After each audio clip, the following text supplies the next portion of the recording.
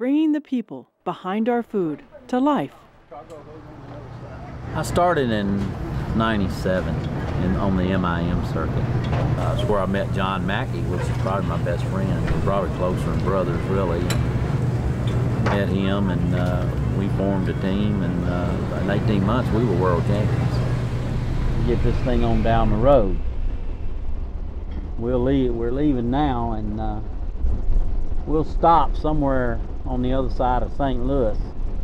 I, I get a kick out of the competition, uh, you know, a high really out of it, especially if you win.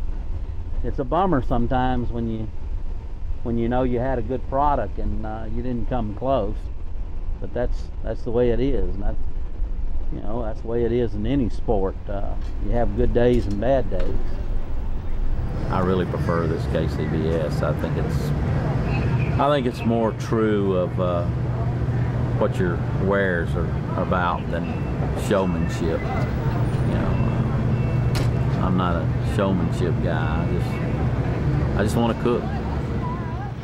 I come home and begged uh, Jenny to join up. I said, "There's a lot of just couples out there. I think you'll really enjoy this." And uh, when we went to uh, Goodlettsville together, our first cook, Jenny and I, uh, we snuck in on it and and and uh, won it. Can't do that hardly anymore. Competition's gotten fierce out there. Uh, what I cook in the backyard is not what I cook on the circuit. It, I found that it's sweeter on the circuit than what I normally like. Uh, the flavors aren't the same.